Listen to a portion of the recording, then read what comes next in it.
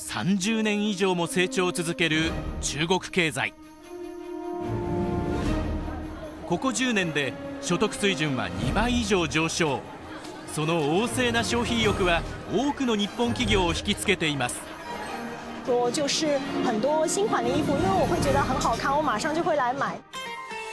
今中国で企業が成功する鍵はローカライズ。商品の開発や働き方を現地の国民性に柔軟に合わせてビジネスを展開することです。日本をベースでものを考えないということですよね。中部地方からも中国に進出しローカライズを実践している企業があります。企業はローカライズをどのように実現し成長に結びつけていくのか。上海を舞台にその秘訣を探ります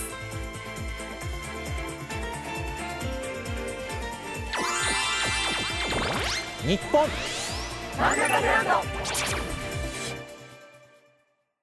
今日のナビゲーション先週に引き続き東海北陸の地域の宝を世界に発信するプロジェクト日本真ん中ブランドです。今回の舞台は中国。多くの日本企業が国内市場が頭打ちとなる中海外への進出にチャレンジしています。特に人口や消費が増え続けている中国は依然注目の的となっています。こちらをご覧ください。国民の所得水準を表す1人当たりの GDP 国内総生産。中国は水準が上がり続けているんですね。この10年で見ても2倍以上という勢いです。所得が増えれば当然お金を使う人も使う額も増える。だから魅力的な市場となっているわけです。そこで今日本の進出企業が力を注いでいるのがこちら。ローカライズ。中国でのビジネス成功の鍵と言われています。現地という意味のローカルを動詞にした言葉。ローカル化現地化という意味です。で商品やサービスを現地に適用させていくという意味で使われています。ではどのようにこのローカライズしていくのか。こちらのケーキを作っている洋菓子店。これ東海地方の洋菓子店なんですが上海にも進出していまして売り上げ海外が全体の40%を占めています。でこの洋菓子店が取り組んでいるのが現地でお菓子を作るスタッフの働き方をローカライズ。現地の人たちに合わせて成功を収めているというんですね。ところが中国で変わらず美味しいケーキを作っていくというのはなかなか難しいようなんです。岐阜と愛知に4店舗を展開する洋菓子店。日本全国から客が押し寄せる有名店です。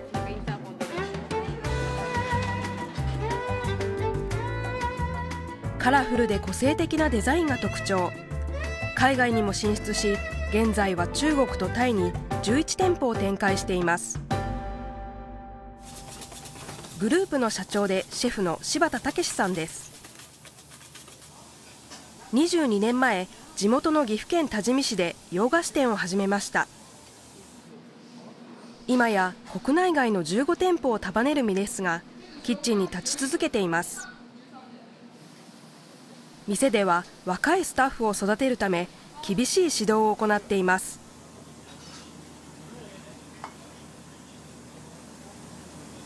お前それ知ってるよ。お前これ116度まで熱したものを入れて卵黄を熱通して殺菌するの知ってるよお前。え？知らないのにお前お菓子作ってんのか？だからそういう汚い仕事やるんだよお前は。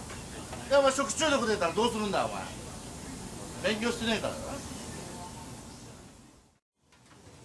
こうした厳しい指導を受けたスタッフの中には自分の店を持つ夢を叶えた人もいます柴田さんが初めて海外に店を出したのは上海でした。経済成長を続ける一方でまだ未熟だった洋菓子のマーケットに目をつけたのです。8年前に1号店をオープン。続けて高級住宅地のそばに2号店を出しました。柴田さんは毎月欠かさず上海の店をチェックに訪れています。15人のスタッフは全て中国人。上海でも有名な柴田さんに憧れてやってきました。今日は新作の作り方をスタッフに教えます。しかしここで問題が発生。今日から慰安旅行にこの情報は僕には実は来てないですよ。だから人数半分しかいないしこういったことはよくある話でそんなに驚かないですね。日本日本だったらちゃぶ台ひっくり返しますけど。気持ちを切り替え残っているスタッフにマンゴーを使った夏向けの新作を淡々と教えます。これで写真撮っといて。月に1回しか指導できないため一つ一つ手本を見せその都度記録させるようにしています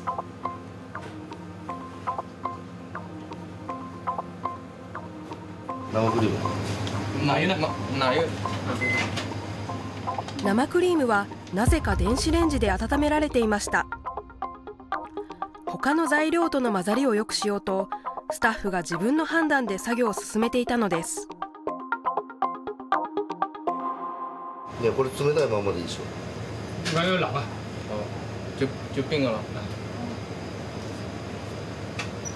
それ冷蔵庫入れて。嗯，把它冰箱里冰。哦，良かれと思って勝手にやってるところは多い別に彼らに対してあの悪気があるわけじゃないけど。自分に与えられた仕事は進め方も任されている。こう考える中国人が多いと柴田さんは感じています。このことに気づいてそれまでの教え方を見直したのです。こっちが日本ではこうだっていうことをどんどんどんどん言えば中国はこうだからっていうことを彼らも言いたくなるわけですよね。お菓子をローカライズするわけではなくて仕事の手法や手段をローカライズしていくっていうことが一番の、えー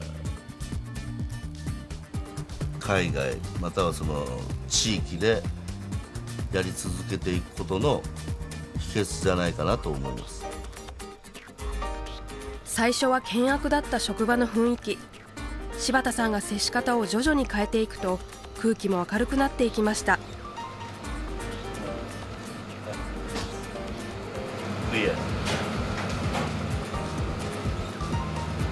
因为在这边工作很愉快，对，就更专业，因为是要去手去做更多的好的东西，然后了解柴田试点这边的一些用材做法都相对来说比较好，所以才过来工作学习。柴田さんは上海に来るたびに店頭に並ぶケーキをすべて試食します。その数は20個以上。クリームの硬さや味のバランスにブレがないか一つ一つチェックしていきます。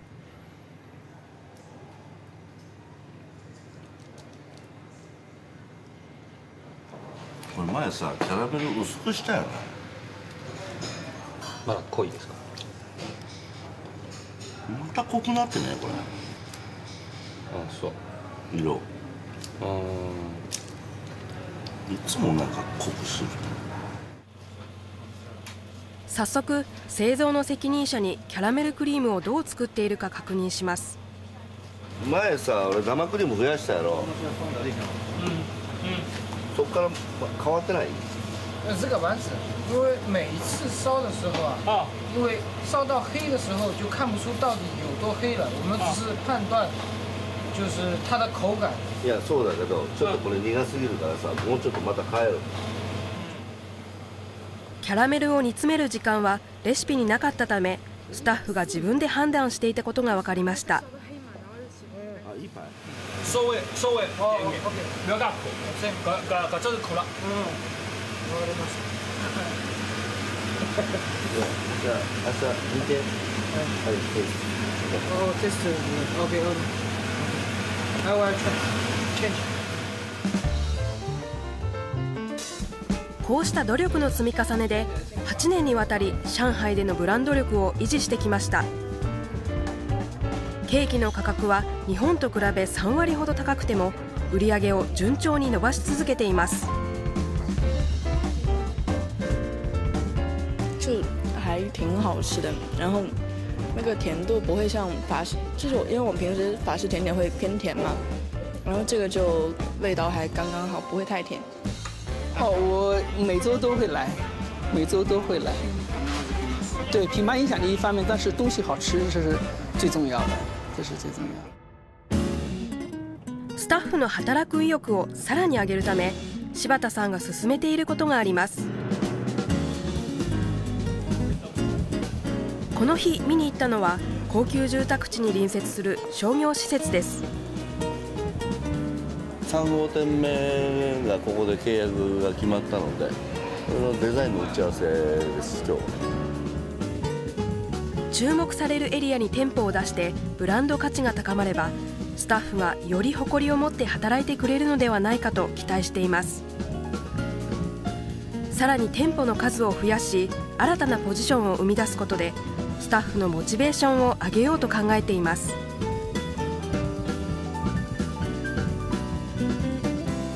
長く働いてるスタッフを上のやっぱポジションに持っていかせることが彼らの幸せじゃないですか。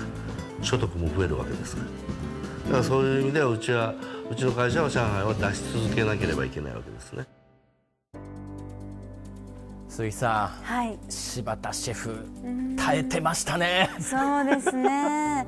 やっぱり何かを伝えるときに、日本では怒ることが愛っていうふうに捉えられることは多いんですけど、ね、うん、でも中国だと多分怒られるのに慣れてないみたいなので、私たちもあんまり注意すると泣いてしまうといけないので、褒めるようにしていたりとかしましたね。そういうところでも合わせてたんですか。はい。これ内堀さん。こういうお話聞いてると 中国で成功するって大変だなと思うんですが。よね。やっぱりあの、えー、一般的に日本と比較しますとね、はい、あの中国では集団主義よりも個人主義です。し長期のキャリアを考えるというよりもですね短期の利益をこれ重視するというところがあったりしますよね、えー、で上昇志向も強いですし、えー、一人っ子政策の中でプライドも高い人も多いんですよね、はい、年功序列の考え方これも希薄ですから、まあ、日本企業の観点からするとですね自分本位に見えたり定着率が低いですとかね、そういったところが共通して問題視されるというところがあります。あのね先ほどのあの厨房の様子見ても連絡報告がなかったりとか自分で勝手に判断しちゃったりとかまたすぐに同じことやってしまったりとかっていう場面がありましたけれども、まあ、なかなかその現地でスタッフを雇ってあの行くっていうのは難しそうなんですがそれでも現地の人たちに合わせて働き方指導してローカライズするっていうことがぱり大事なんですか？そうですよね、えー、あの特にその海外事業を継続するということを考えますとね、えー、あの現地の人材をどう育成しそれをどう登用するかその仕組み作りってすごく重要だと思います、はい、で当初はやはり日本から派遣したあの社員が中心になるかもしれませんけど、えー、それですとやっぱり人件費もかかりますしね、うん、あの現地に合わすということもなかなか問題が出てくると思いますので、はい、やっぱりその会社の戦略意図を理解してですね幹部候補となる現地のスタッフですねこれを計画的にどう育成するかということが持続的な成長のポイントだと思います。やはり現地で雇ってということですねあの柴田さんの出店戦略なんかまさにねそういったところをご覧になってるんじゃないのかなと思いました。ローカライズしてその海外進出っていうのはやっぱりじゃあチャンスはどんどんこれ大きく広がるってことなんですか？そういうことですよね。ええでやっぱりその中部の企業にとりましてもね、えー、東京とか大阪にこう進出するという前にですね、はい、もう世界に打って出るですよね、えー、世界に出て受け入れられる、えー、そしてそういうそういったところで成功することがあり得るわけですよね。特にその資本力のないあの企業にとってですね、これ結構有力な戦略の一つになる可能性があるんですよね。あそれは例えばその東京や大阪に進出するとか、はい、全国展開するっていう国内の話ではなくて、その前に一気に、その前に海外進出すると。